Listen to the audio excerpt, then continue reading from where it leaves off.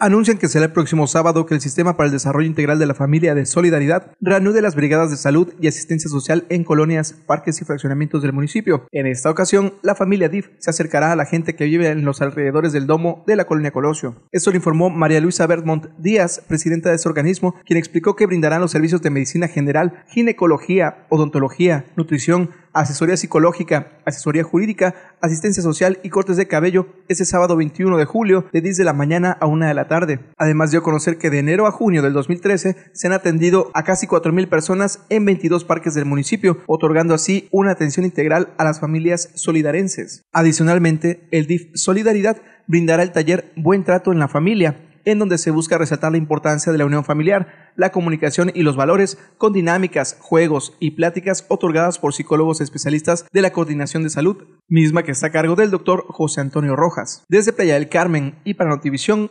informó Daniel Pacheco.